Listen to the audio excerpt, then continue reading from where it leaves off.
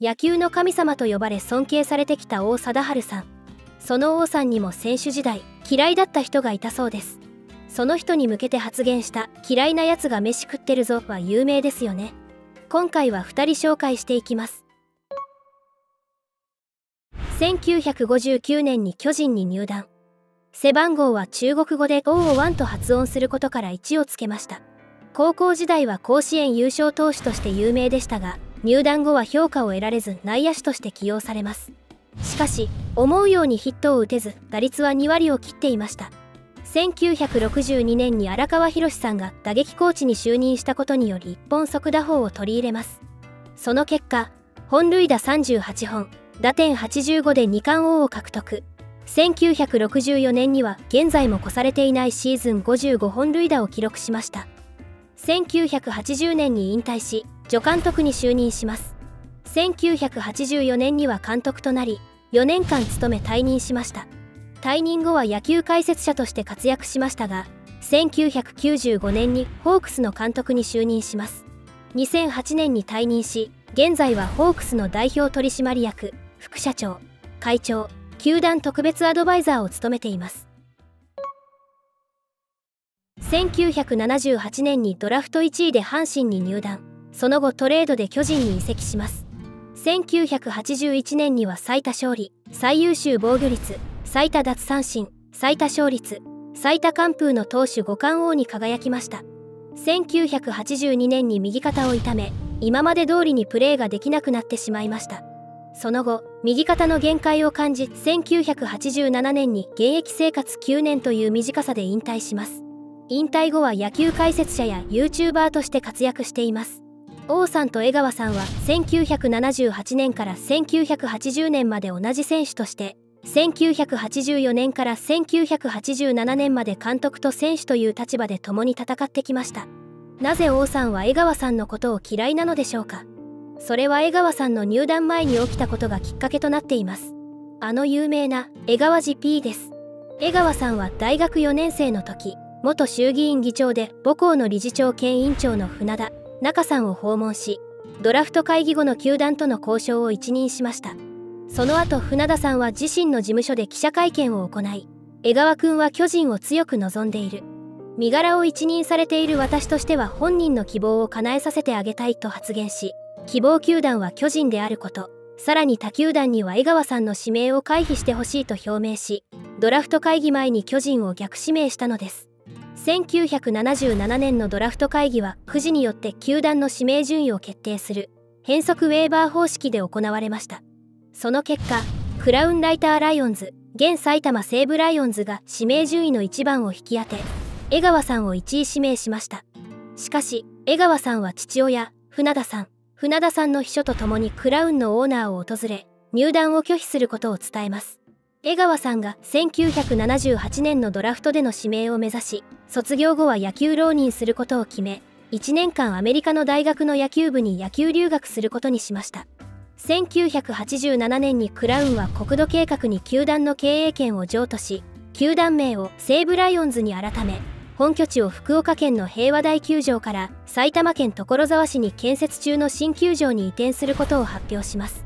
球団社長が渡米し江川さんとロサンゼルスで入団交渉を行いましたが江川さんの気持ちが変わることはありませんでした。そしてドラフト会議の2日前11月20日の0時に西武と江川さんの交渉権が消滅しました。当時の野球協会のルールでは交渉権を得た球団がその選手と交渉できるのは翌年のドラフト会議の前々日までとされていました。はいどうも。ミスーグイスによるささやき豆知識です。なぜ前々日までしか交渉できないのか説明するよ。前日まで交渉を続け交渉地が遠隔地だった場合に気候の急変などにより球団関係者がドラフト会議に出席できずドラフト会議に支障をきたす恐れがあるためドラフト会議の準備期間として設けられたんだ。江川さんは22日のドラフト会議の結果を聞き26日に帰国を予定していましたが17日に船田さんの秘書から20日に帰国するように指示があり予定より早く帰国しました。21日の朝に巨人との選手契約について説明がありこれを江川さんが承諾し契約が成立します。その後記者会見を行い江川さんは子供の頃からの夢が叶い大変嬉しく思います。と発言しました。その日の午後にプロ野球実行委員会が会議を開き契約は野球協会の精神に反するとして契約無効を言い渡しました。巨人は契約無効に対し異議申し立ての文書を手渡しドラフト会議をボイコットしました。ドラフト会議では南海阪神ロッテ近鉄が江川さんを1位指名し抽選の結果阪神が交渉権を獲得しました。金子コミッショナーは問題解決のために江川には一度阪神と入団契約を交わしてもらいその後すぐに巨人にトレードさせる形での解決を望むという要望書を提出しました。阪神が要望を受け入れ江川さんは巨人に入団することができました。この半ば超法規的な措置で入団したことをチームメイトはよく思っていなかったようです。王さんが江川さんに向けて言った嫌なやつが飯食ってるぞは有名ですよね。しかし江川さんもやられっぱなしで黙っているはずもなく王さんの監督時代に仕返しとも取れるようなことをしています。1985年のシーズン終盤巨人対阪神が残り2試合の時阪神のバース選手が54本塁打を記録していました。この時も最多本塁打の記録は王さんが持っており55本でした。投手は全員集められコーチにバースにストライクを投げたら1球あたり罰金100万円と脅されたそうです。バース選手はフォアボールや敬遠ばかりで54本止まり。王さんの記録が破られることはありませんでした。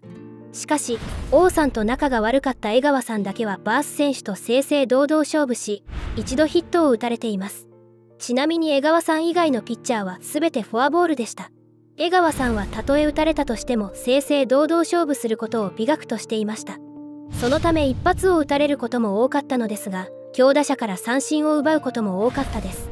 また王さんが監督に就任した時からここぞという試合ではことごとく負けるのです。挙句の果てには巨人が毎年優勝するなんてナンセンス。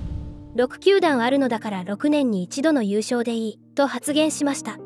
1982年の藤田監督の時に優勝しており1983年から5年契約で王さんが監督を務めていたので王政権下で優勝する気はないと遠回しに発言していたのです。そのため王さんが監督をしていた5年間のうちリーグ優勝1回日本一なしという結果になってしまいました。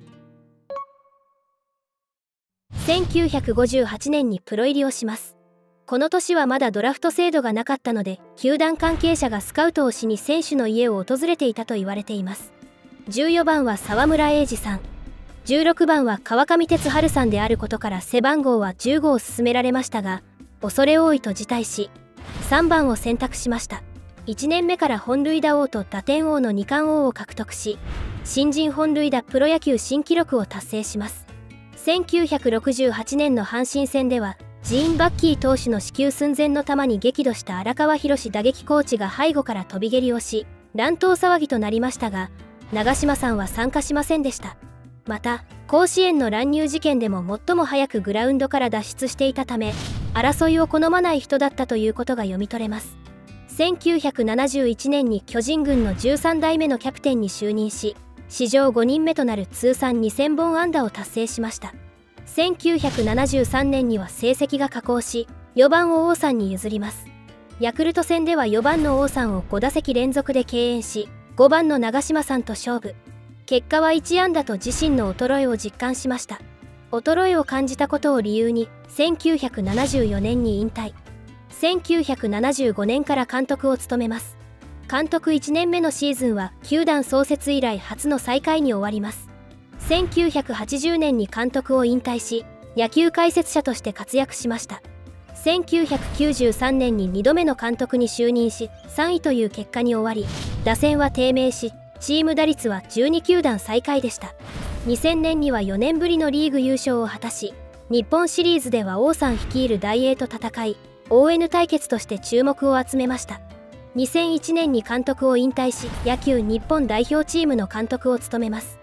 その後は脳梗塞で倒れたり胆石が見つかったりと体調の優れない日々を過ごしています。長嶋さんは王さんの一つ上にあたります。1959年から1974年までは同じ選手として1975年から80年までは監督と選手という立場で関わってきました。現役時代長嶋さんと王さんは ON4 と呼ばれ親しまれてきました。はいどうも。ミスウグイスによるささやき豆知識です。オーエヌ・ホートは1959年から1974年まで巨人で活躍した2人のコンビを指した言葉だ。ニューヨークヤンキースのミッキー・マントルとロジャー・マリスの MM キャノンに真似て ON 法とつけられたんだ。なぜ王さんは長嶋さんのことを嫌いなのでしょうか。長嶋さんは王さんの入団前から活躍しており王さんは入団時に憧れの選手は長嶋選手ですと語っています。当時長嶋さんは1年前に入団したばかりでルーキーだったにもかかわらず素晴らしい成績を残しました。そして入団後王さんは長嶋さんを超える記録を残しました。しかしメディアの注目は長嶋さんばかりで自分に注目してもらえなかったため嫉妬から長嶋さんを嫌いになったと言われています。記録の王記憶の長嶋という言葉があるように記録を残したのは王さん。記憶に強く残ったのは長嶋さんと言われています。長嶋さんもシーズン最多安打6年連続や150安打以上を11回首位打者6回などの現在も越されていない記録を持っています。王さんの世界記録である通算868本塁打やリーグ記録の通算2786安打と比べてしまうと記録としては弱いのかもしれません。長嶋さんは計算高いとも言われておりファンの記憶に残るようにホームランを打ったのにベースを踏み忘れてアウトになったり試合が一方的な展開になって観客が退屈しているとわざとエラーをしたり見せる野球をしてきました。また長嶋さんは少し天然なところがあり今の野球は家に帰って風呂に入るまでわからないやいいかお前たち。絶対に諦めるな。人生はギブアップだ。と語っています。このように長嶋さんには人を引きつける魅力がありたくさんの人から愛されてきました。ヒーローインタビューがネットニュースになるような人で野球ファンではない人も夢中にさせる現在のビッグボス新庄剛志監督のような存在でした。長嶋さんが監督になってからはメディアの注目は王さんに変わったため嫌いという感情は薄くなったそうです。2020東京オリンピックの聖火リレーでは松井秀喜さんと3人で聖火を運び王さんは長嶋さんに手を添え気遣うなど現在は良好な関係を築いています。お二人とも高齢になってしまっているので叶うかは分かりませんがぜひテレビで共演して当時のことを語ってほしいなと思います。皆さんは王さんと長嶋さんにしてほしいことはありますか？コメントに書いていただけたら嬉しいです。今回は王さんが嫌いだった選手を2人紹介しました。長嶋さんのことは嫌いではなくなったようですが江川さんとの仲は修復していないようです。王さんは82歳ですがまた監督をしてくれたら嬉しいなという気持ちもあります。これからも王さんの活躍に注目していきたいです。ミスウグイスからの挑戦です。王貞治さんは通算本ホームランを打ちました。さて何本でしょうか？